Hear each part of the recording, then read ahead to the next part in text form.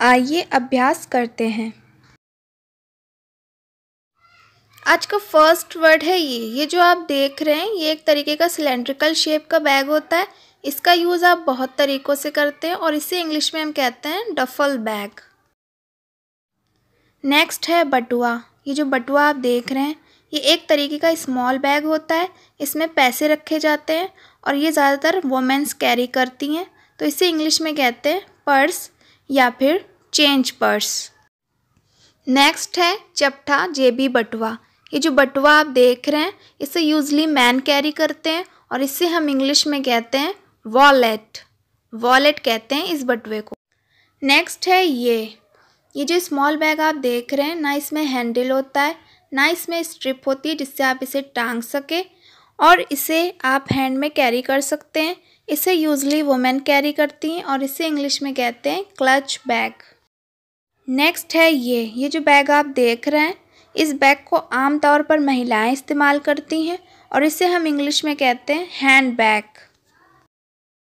और नेक्स्ट है ये बैग ये कमर में बांधे जाने वाला जो बैग देख रहे हैं आप, छोटा सा, जिससे पैसे वगैरह रखे जाते हैं, इसे हम इंग्लिश में कहते हैं बम बैग या फिर फैनी पैक नेक्स्ट है कचरे की थैली। और इस कचरे की थैली को हम इंग्लिश में कहते हैं ट्रैश बैग या फिर गार्बेज बैग या फिर बिन बैग नेक्स्ट है ये झोला। ये झोला जो आप देख रहे हैं, ये एक तरीके का बैग है, जिसमें दो हैंडल हैं, जैसे कि आप देख रहे हैं, और कपड़े का बना हुआ है ये बैग और इस बैग को हम इंग्लिश में कहते हैं टोट बैग नेक्स्ट है ये। ये जो छोटी अटैची आप देख रहे हैं ये एक तरीके का फ्लैट रेक्टेंगल बैग होता है और इसे कैरी किया जाता है बिज़नेस डॉक्यूमेंट्स के लिए और इसे हम इंग्लिश में कहते हैं ब्रीफ केस नेक्स्ट है ये. ये जो आप बक्सा देख रहे हैं, ये आप ट्रैवलिंग के समय यूज़ करते हैं और आप इसमें कपड़े वगैरह रखते हैं और इसे हम इंग्लिश में कहते हैं सूट केस नेक्स्ट है ये। ये जो बड़ा बक्सा आप देख रहे हैं, इसमें भी कपड़े स्टोर किए जाते हैं और इसमें अपनी आप पर्सनल चीज़ें भी रख सकते हैं और इससे हम इंग्लिश में कहते हैं ट्रंक नेक्स्ट है ये बस्ता।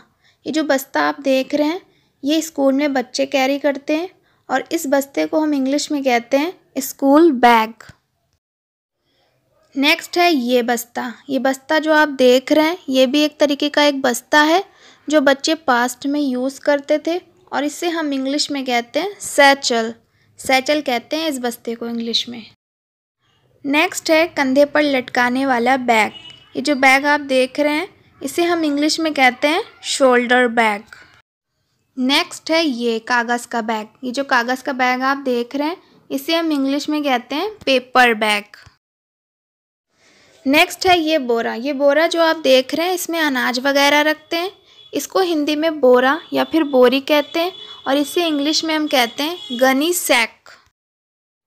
नेक्स्ट है प्रसादन थैला। ये जो आप देख रहे हैं, जिसे आप यात्रा के दौरान लेकर जाते हैं, जिसमें सोप, टूथपेस्ट, ये सब रखा हुआ होता है। इसे हम इंग्लिश में कहते हैं टॉयलेट बैग या फिर स्पंज बैग या फिर वॉश बैग तीनों ही बोला जाता है इस तरीके के बैग को। नेक्स्ट है पीठ थैला। और ये बैग जो देख रहे हैं आप, जिसे पीठ पर लाद कर ले जाया जाता है, आप जब कहीं जाते हैं तो आप इसे लेकर जाते हैं। तो इसे इंग्लिश में कहते हैं रक सैक. नेक्स्ट है ये बैग। ये बैग जो आप देख रहे हैं, ये बकेट शेप का होता है और इसमें ड्रॉ स्ट्रिंग लगी हुई है और इसे हम इंग्लिश में कहते हैं बकेट बैग नेक्स्ट है ये बैग। ये बैग जो आप देख रहे हैं, ये थोड़ा झुका हुए शेप में है और इससे हम इंग्लिश में कहते हैं होबो बैग नेक्स्ट है ये बैग। ये बैग जो आप देख रहे हैं, इसका कुछ एनवलप जैसा शेप है और इससे हम इंग्लिश में कहते हैं एनवलप बैग नेक्स्ट है ये बैग। ये बैग जो आप देख रहे हैं, ये रेक्टेंगुलर शेप का होता है।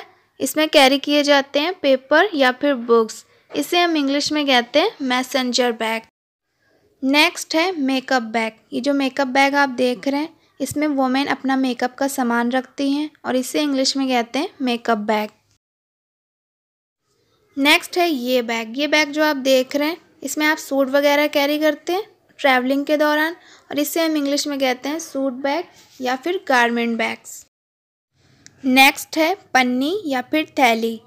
इसे इंग्लिश में कहते हैं प्लास्टिक बैग या फिर पॉली बैग नेक्स्ट है ये बैग। ये बैग जो आप देख रहे हैं, जिसमें आप फ़ूड वगैरह रखते हैं, ये एक तरीके से सील होता है और इसे इंग्लिश में कहते हैं फ्रीज़र बैग या फिर जिप लॉक बैग नेक्स्ट है ये बैग ये बैग जो आप देख रहे हैं, इसमें जो ड्रा लगी हुई है, इससे ये खुलता है और बंद होता है और इसे हम इंग्लिश में कहते हैं पाउच नेक्स्ट है ये बैग ये बैग जो आप देख रहे हैं, इसमें आप छोटे गिफ्ट रखते हैं और किसी गेस्ट को देते हैं या फिर किसी इवेंट पे देते हैं और इस बैग को कहते हैं इंग्लिश में पार्टी बैग या फिर गुडी बैग नेक्स्ट है ये बैग ये बैग जो आप देख रहे हैं, ये आप अपनी मोटरसाइकिल में लगाते हैं इसे हम इंग्लिश में कहते हैं सैडल बैग और ये जो बैग आप देख रहे हैं, इसे मैन कैरी करते हैं और इस तरीके के बैग को हम इंग्लिश में कहते हैं मैन बैग नेक्स्ट है ये बैग ये बैग जो आप देख रहे हैं, इसमें हम बच्चों के नैपी वगैरह रखते हैं